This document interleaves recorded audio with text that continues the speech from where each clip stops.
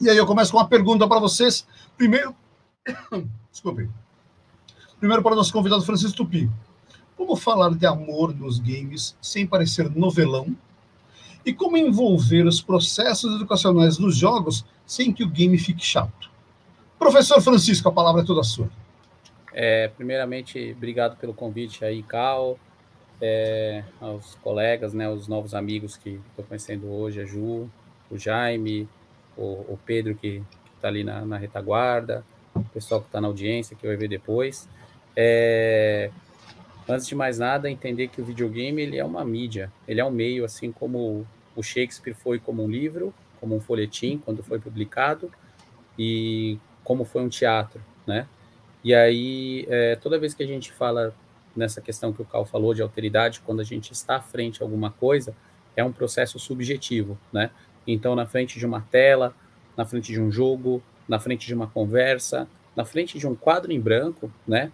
Se a gente for ver outras estéticas, outras mídias que propõem o vazio, é, existe uma, uma expressão, um diálogo de consigo mesmo, né? É, obviamente que surgiu essa fala, isso aí é, acho que também faz parte do, do, processo democrático das pessoas falarem, a gente poder conversar e, e, e ter a ideia, discutir, né? É, veio é, é uma segunda fala que eu não vou adjetivar, mas igual a questão do esporte, o que, que isso representa, o que, que isso deixa de representar. Então, isso vem numa cadeia.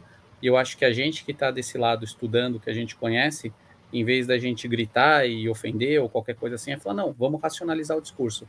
Desse lado tem isso.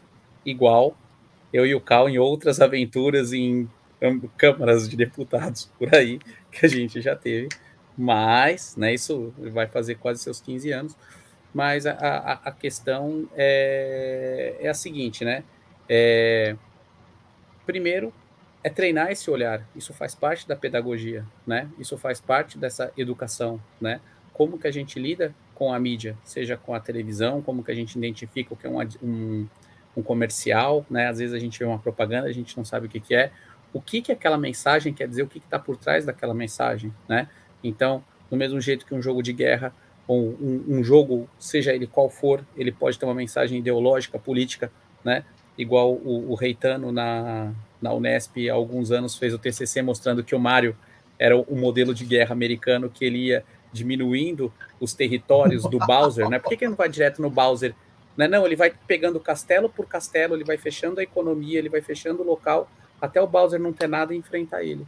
Então, ali, Olha, sabe, você tem um jogo igual o Banco Imobiliário, que tá, ele tem toda uma, uma história do, do, do capitalista, que pode ser uma crítica, que, sabe, pode ter uma interpretação, que aí depois vem o pai rico, o pai pobre e faz o cash flow, que é o, o jogo para o, o, jogo de autoajuda, inclusive, né? Então, a questão é a seguinte, e exemplos sim de jogos que, que lidam com essa questão de. Só que aí é um conhecimento que talvez da nossa parte ou, ou da própria mídia, que precisam ser mais divulgados, ou bolha precisa ser estourado. Jogos que são simuladores de autismo, que quando você joga, você vê. É, como que é a visão de um autismo, né? E, e a questão é que a mídia ela está evoluindo, né? É, simuladores de depressão, simuladores de refugiados, né? Que desenvolvem jogos que a hora que a gente entra nessa mídia é, interativa, que é o jogo, isso se torna motivador e isso torna assunto. A gente aqui está conversando, a gente pode falar por horas, né?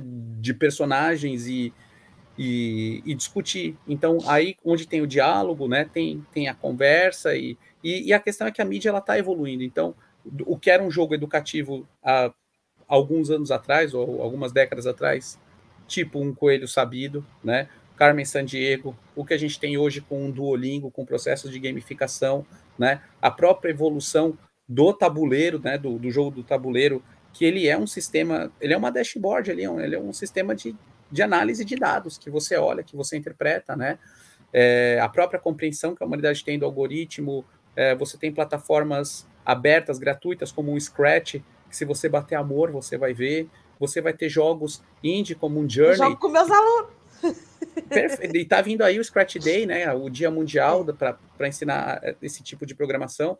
Então, é, é, o, esse como é algo que está sendo todo dia na, nas startups, nas empresas, nas escolas, buscado, debatido, conversado, né, Cal? E, e eu acho que, que cabe muito a gente, né, que é o que, o que o Drop de Jogos faz, né, é o que é feito com os nossos amigos acadêmicos, professores, que estão tentando trazer isso para o mercado, né, porque tudo é uma briga de qualidade, né?